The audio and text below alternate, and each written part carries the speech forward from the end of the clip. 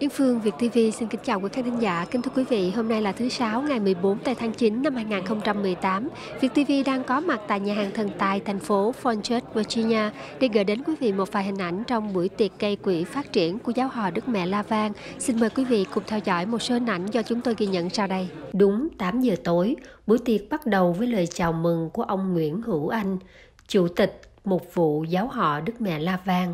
Chúng tôi mạo muội tổ chức buổi gia tiệc với mục đích gây quỹ phát triển giáo họ và kỷ niệm 12 năm thành lập cộng đoàn này với mong ước mỗi, mỗi quý vị là một điểm tựa cho chúng tôi. Chính những tấm lòng vàng, những nghĩa cử đẹp của quý vị là một nguồn động lực, động viên chúng tôi trong việc phục vụ cho Chúa và giáo họ.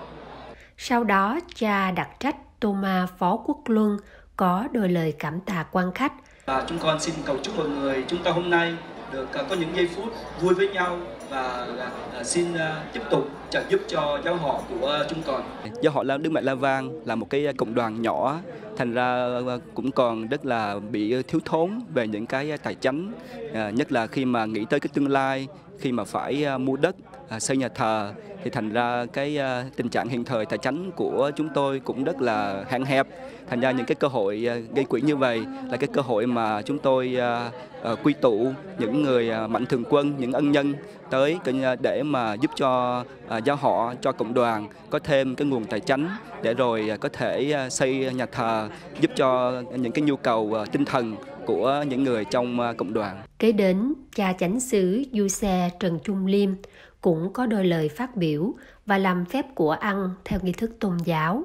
Xin Chúa chúc lành cho tình thân hữu của chúng con và cho những lương thực do lòng rộng rãi chúc ban cho chúng con dùng. Chúng con cầu xin nhờ Đức Kitô Chúa chúng con. Rất là vui mừng thì thấy thấy là tất cả rất là đông đủ đến đây để mà à, giữ cái buổi tiệc gây quỹ này rất là quan trọng cho giáo họ.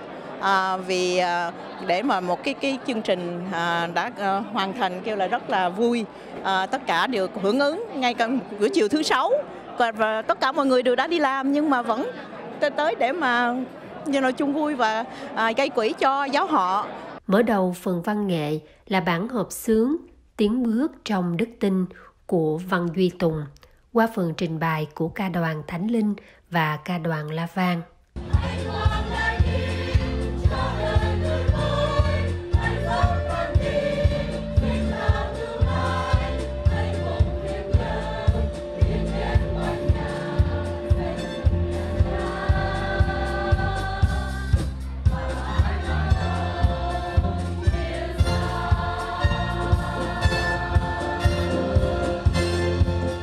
Phần đấu giá sôi động và lôi cuốn được xen kẽ với chương trình văn nghệ.